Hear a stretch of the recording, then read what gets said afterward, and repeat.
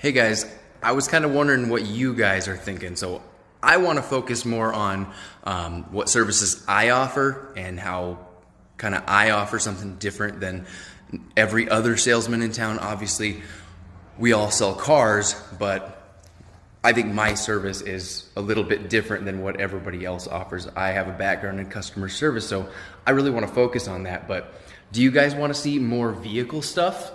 Um, do you want to learn more about financing? Do you want to see what vehicles Liberty Superstores offers between all, I want to say like seven of our brands?